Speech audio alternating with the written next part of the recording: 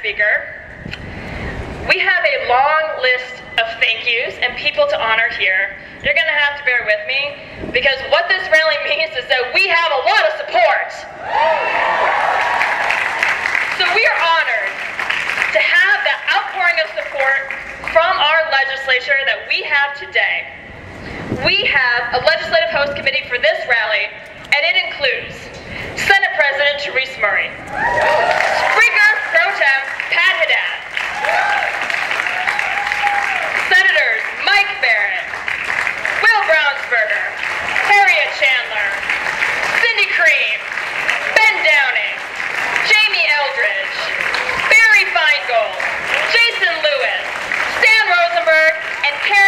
Karen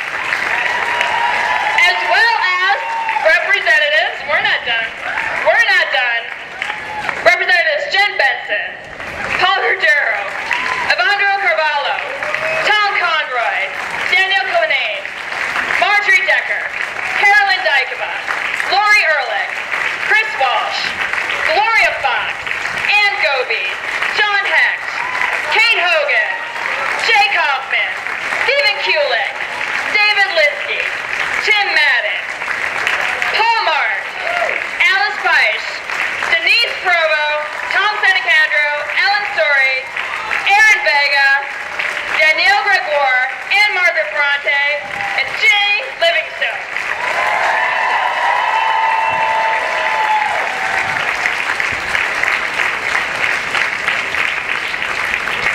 I'd also like to uh, I'd also like to give thanks to City Councilors Tito Jackson and Michelle Wu, who are also here with us, along with Ayanna Pressley. And while U.S. Senators Elizabeth Warren and Ed Markey were unable to be here in person today because Congress is in session, we would like to thank them for being so supportive of this rally and our efforts to protect access for, access for reproductive health care. We also have the support of Congresswoman Katherine Clark, who is speaking on the House floor tonight to stand with us in solidarity. I'd like to recognize candidates for statewide office who showed their support today too.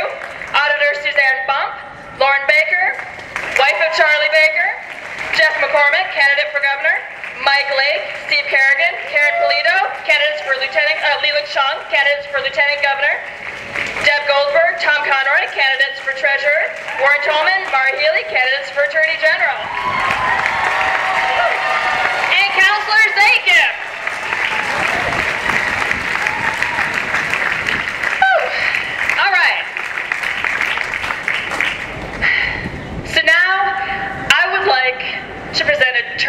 Attorney General Martha Coakley.